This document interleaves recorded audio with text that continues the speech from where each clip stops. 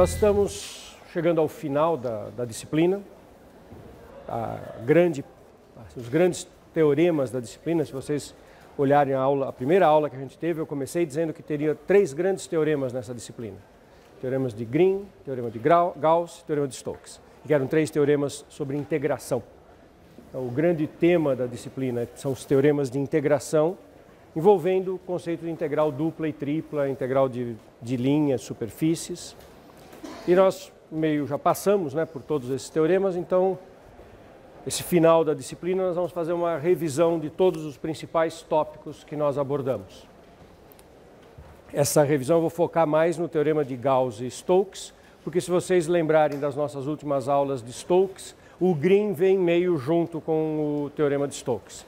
Ao revisar Stokes, também estamos falando de Green. E aparecem todas as integrais no meio do caminho. Começar recordando integral de superfície.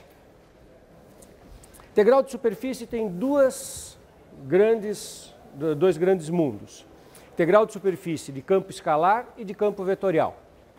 Essa palavra campo escalar é sinônimo de função, função a valores reais. E a palavra campo vetorial é sinônimo de função a valores no R3.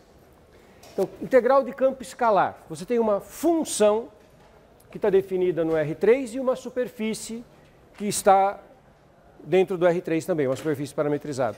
Então, o domínio da função inclui a superfície.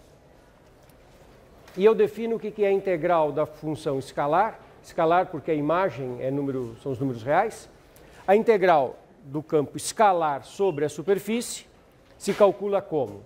É uma integral dupla sobre o domínio da parametrização da função que antes estava escrita como xyz, agora você vai escrever o xyz usando o xyz da superfície.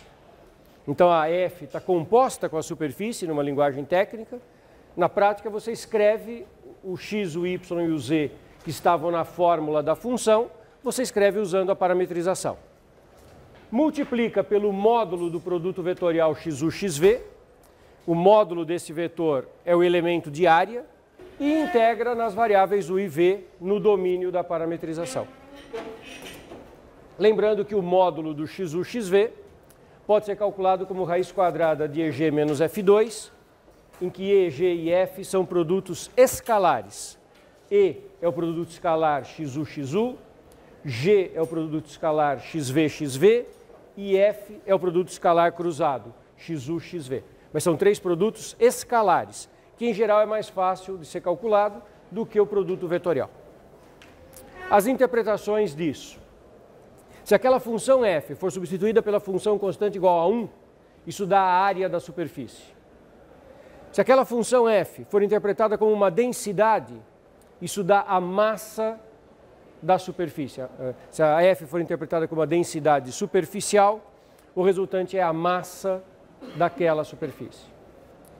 Se a F for distância ao quadrado vezes densidade, momento de inércia. E dependendo do significado da F, você vai tendo diferentes aplicações. Isso, em geral, é mais fácil de fazer. Os teoremas de Gauss e de Stokes, eles não se aplicam exatamente para esse tipo de integral. É para a integral do tipo fluxo. Então, esse aqui é um tipo de, de integral que é muito útil, mas que a manipulação é bastante simples. É parametrizar e fazer a conta. Vamos fazer um exemplo para deixar isso bem claro. Eu quero a massa do pedaço de z igual x2 mais y2 menos 3, z menor igual que 1, com densidade x, y, z igual a x2 mais y2. Então, esse é um exemplo bastante simples para ilustrar aquele conceito. Então, você tem um pedaço de superfície, z igual a x2 mais y2 menos 3, z menor ou igual que 1. Isso descreve um pedaço de superfície.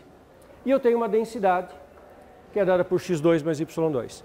Então, a massa é a integral dupla sobre a superfície da função densidade, que é x2 mais y2, ds. É isso que eu tenho que calcular. Passos. Entender minimamente a geometria do que está ocorrendo, parametrizar a superfície, calcular o módulo do x1, xv e fazer a primitiva, fazer a integral dupla, que aí fica uma integral Fubini, a lá teorema de Fubini. Então, primeiro passo é entender qual é a geometria das, da situação. Que superfície é essa, que desenho que eu tenho, o que, que eu vou fazer. Superfície é bem simples, x2 mais y2 menos 3 é o que? Um paraboloide de revolução com concavidade para cima. Z menor ou igual que 1 dá uma, uma região simples de parametrizar.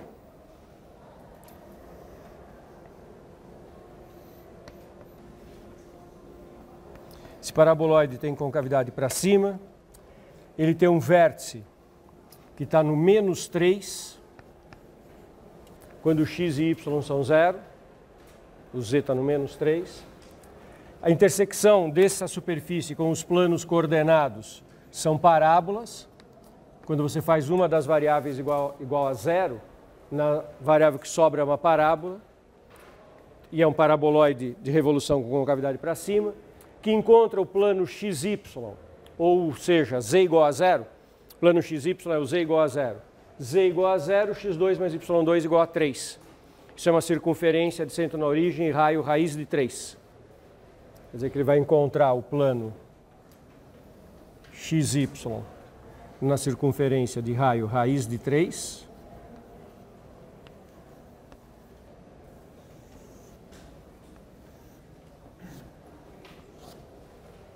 E esse paraboloide sobe, tendo encontrado o plano XY numa circunferência raiz de 3.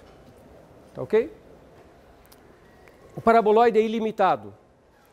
Então ele não seria uma superfície parametrizada, regular, adequada. As nossas superfícies têm que estar definidas em domínios limitados para que nós possamos fazer a integral dupla. Onde é que isso está escrito? Não está escrito explicitamente em lugar nenhum, mas é tácito.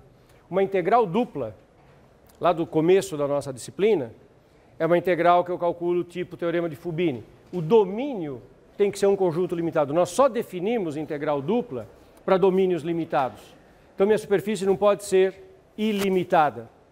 Por isso que está escrito em algum lugar do enunciado algo que limita a superfície. É aquele z menor ou igual que 1.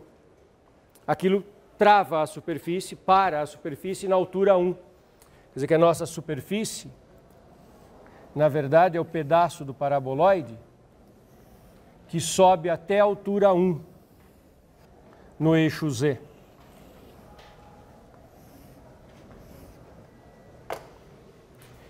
Então, estão enxergando? Um pedaço de paraboloide, isso é só o primeiro octante, sempre assim, né? Eu só consigo desenhar a parte visível no primeiro octante. Um pedaço de paraboloide que vai até o nível Z igual a 1. Está claro para todo mundo?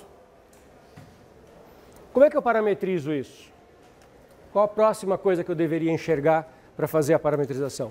Qual, o que, que eu devo me perguntar, o que, que eu devo olhar agora?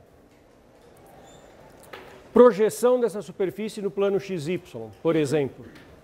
Ela me daria uma maneira de parametrizar. Se eu enxergar como é que essa superfície se projeta no plano XY, aí eu olho o XY que aconteceu, parametrizo o XY e tiro o Z pela equação, pela fórmula e eu tenho uma parametrização. O que, que dá a projeção deste pedaço de paraboloide sobre o plano XY? Círculo de centro na origem. E raio? Raiz de 3. Raio quanto? 2. De onde está esse raio 2? Como é que vocês estão vendo o raio 2? O que, que precisa fazer? Que conta que eu tenho que fazer? A superfície está parando no nível z igual a 1. Então eu tenho que ver qual é a intersecção, qual é o corte no plano z igual a 1. O que, está ocorrendo no plano z igual a 1? Quando eu faço z igual a 1, eu obtenho x2 mais y2 menos 3 igual a 1, ou seja, x2 mais y2 igual a 4. E daí a circunferência de centro na origem e raio 2. a projeção desta superfície no plano XY é um disco cujo raio é maior um pouco do que raiz de 3, cujo raio é 2.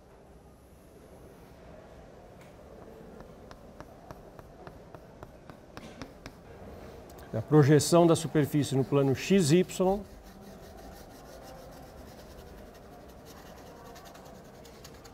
é o disco de centro na origem e raio 2. Enxergaram isso que eu estou falando do disco de raio 2? Essa projeção tem, tem um pedaço que está no Z negativo, um pedaço que está no Z positivo, mas tudo se projeta num disco de raio 2. Turma, todo mundo enxergou? Posso continuar? Então, como que eu posso parametrizar? Tem mais de uma maneira. Maneira de parametrizar é escrever x igual a u, y igual a v. Maneira bem simples. Daí eu tiro z do paraboloide. Só que como uh, esse domínio xy é disco, se eu começar com u e v, tudo bem. Mas na hora que eu for escrever a integral dupla, vai ser uma integral dupla num domínio circular. E eu vou ficar numa situação que eu vou querer fazer mudança de coordenadas para coordenadas polares. Então, tenho uma tendência, não é obrigatório fazer isso, mas é minha tendência pessoal é já colocar em coordenadas polares. Em muitos lugares vocês vão encontrar alguém parametrizando assim, x igual a u, y igual a v. Mas eu já começo com x igual a r cosseno θ, y igual a r seno θ, já embuti as coordenadas polares na parametrização. E o z? Bom, o que, que eu estou parametrizando? Um pedaço de paraboloide. Então, é o z da equação do paraboloide x2 mais y2 menos 3, ou seja, R2 menos 3.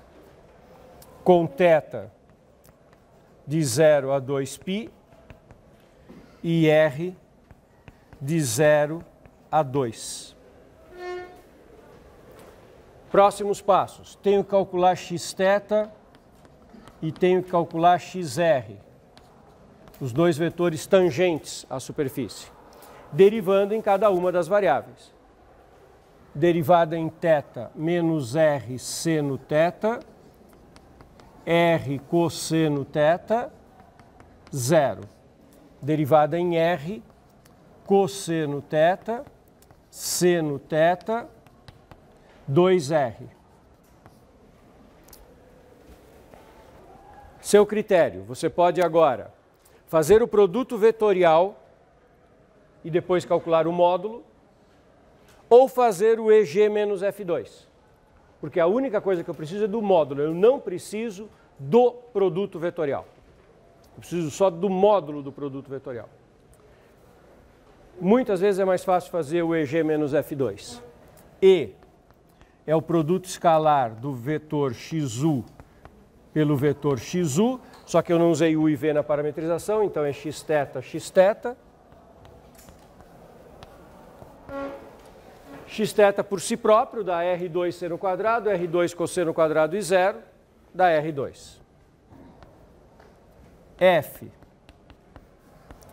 xθ escalar xr menos R seno cosseno mais R seno cosseno, zero. Esse e esse são iguais com sinais opostos, cancelam, esse já era zero, F igual a zero. Já comentei, não se surpreenda que o f dê zero. É comum o f dar zero. Por uma razão muito simples. É, xθ e xr são as derivadas em relação às variáveis θ e r do domínio.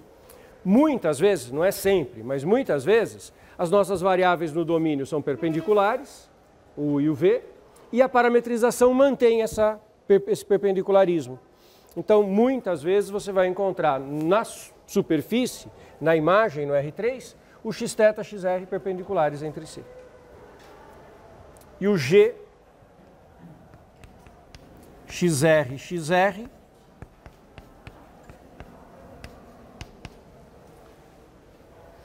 quadrado, quadrado, quadrado. Cosseno quadrado, seno quadrado dá 1, 4R2. 1 mais 4R2. E, portanto, o módulo do produto vetorial xθ por xr que é raiz quadrada de EG menos F2, é raiz quadrada de R2, 1 mais 4 R2, que é igual a R raiz quadrada de 1 mais 4 R2.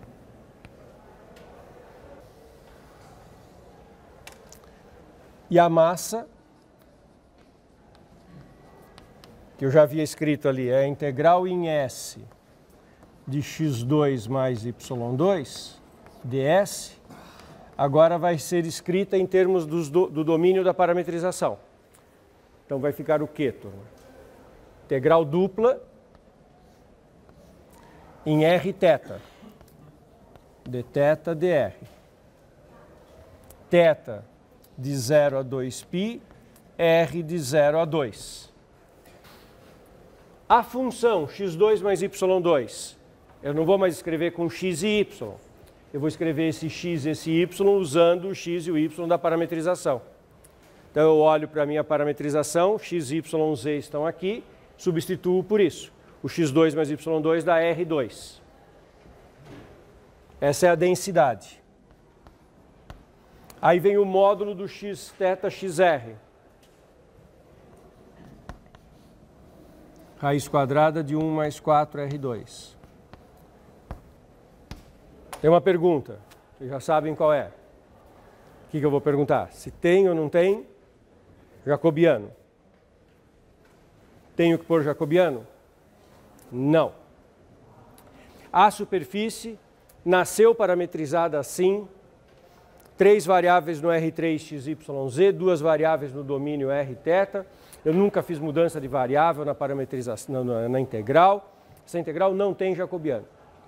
O fato de eu ter colocado na própria parametrização as ideias básicas de coordenadas polares já embutiu tudo que tinha que embutir, já apareceu um R na, no próprio módulo do xθ xr.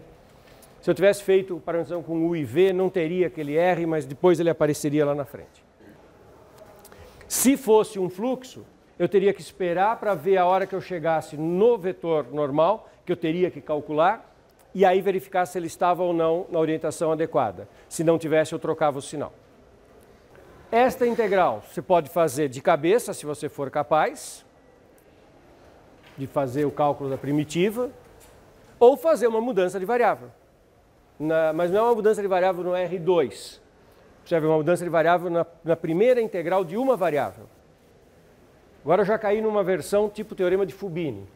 Inclusive, se você observar que no integrando não tem teta e também no extremo de integração em R não tem teta, você até já sabe o que vai acontecer com o teta. É tudo constante em teta. Então é a integral em R, o que der, vezes 2π. Porque não tem integração em θ. É constante em θ. E a integração em R eu posso fazer com uma mudança de variável de uma variável, não é mudança de variável de duas. Mudança de variável de uma, tipicamente chamar o 1 mais 4R2 de U, aí eu vou ter que o DU é 8RDR, eu vou ter que quando é, R é zero, o meu U é 1, quando o R é 2, o meu U é 2 ao quadrado, 4, 16 com mais 1, 17. Então isso fica igual. Para poder fazer a minha conta, eu gostaria de ter um 8R dr, para ter o DU, 8R dr. Então eu vou observar aqui um 8 e eu vou colocar aqui um 1 oitavo. Tá? Então a minha integral vale 1 oitavo, que é a constante que eu coloquei aqui para poder colocar um 8, para poder ter o 8R dr sendo o du. 2π, porque eu já percebi que é tudo constante em θ. Integral de 1 a 17 R2 é U menos 1 sobre 4.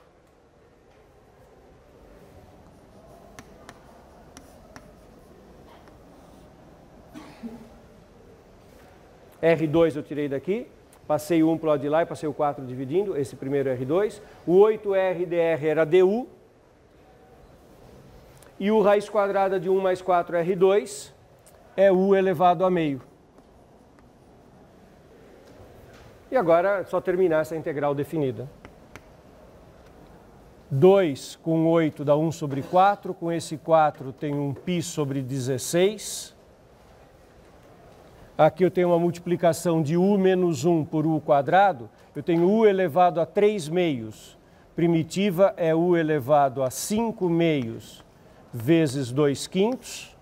O 4 eu já coloquei para fora, então ficou u, u a meio, que é u a 3 meios, cuja primitiva é u a 5 meios vezes 2 quintos.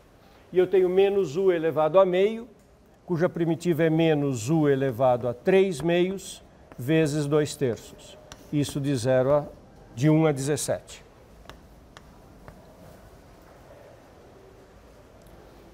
Todo mundo viu que tem um 2 no numerador das duas frações? Então, vou pôr esse 2 para frente. Capi sobre 8 que multiplica 17 elevado a 5 meios. Isso é raiz de 17 elevado a 5. Raiz de 17 elevado a 5 é 17 ao quadrado vezes raiz de 17, tudo isso sobre 5. Tem 5 vezes raiz de 17. E aqui tem raiz de 17, raiz quadrada elevado ao cubo. Então tem menos 17 raiz de 17 sobre 3. E no extremo inferior de integração, o 1 elevado dá 1, o 2 eu já pus em evidência, então fica menos 1 quinto e mais 1 terço. Olha só, eu vou fazer uma outra parametrização então. E aí eu vou mostrar onde é que aparece a mudança de variável. Não, uh, não seria absurdo eu fazer a seguinte parametrização. Ao invés dessa, fazer x igual a u, y igual a v e z igual a u2 mais v2 menos 3. É a mesma superfície. x2 menos y2 menos 3. Bom, u e v onde? Aqui eu coloquei u e v nesta condição. Ali, u e v se eu estou colocando x igual a u, y igual a v, é o disco de raio 2 no plano xy. Então a condição desta parametrização é que u2 mais v2 menor ou igual que 2, menor ou igual que 4. Disco de raio 2, menor ou igual que 4. Certo? Aí eu calcularia xu, 1, 0, 2u, calcularia xv, 012V, calcularia E, 1 mais 4, o 2, calcularia F, 0, 0, 2UV, calcularia G, 1 mais 4, V2. Aí eu escreveria integral dupla em UV de x2 mais y2, u2 mais v2, a raiz quadrada do EG menos F2, teria que fazer essa conta aqui, du dv. Aqui não tem mudança de variável, porque é a parametrização. A superfície nasceu com essa parametrização, fiz a conta. Agora vamos fazer essa daqui. Esse domínio é de disco. E eu tenho u2 mais v2, e eu tenho essa fórmula que eu não fiz a substituição final, mas que está cheia dessas expressões. Como é que eu faria essa integral? Será que eu faria em coordenadas cartesianas, como está aí? Não. Aí eu mudaria. Mas percebeu que eu estou mudando num segundo momento. Não é no aplicar a definição de integral. Depois que eu apliquei a definição de integral, eu não gostei do resultado obtido e eu quero fazer uma mudança de variável. Agora eu vou ter que ter jacobiano. E qual a mudança que eu faria agora? U igual a R cosseno, V igual a R seno, que na minha coisa anterior já, foi, já veio no nascimento da parametrização.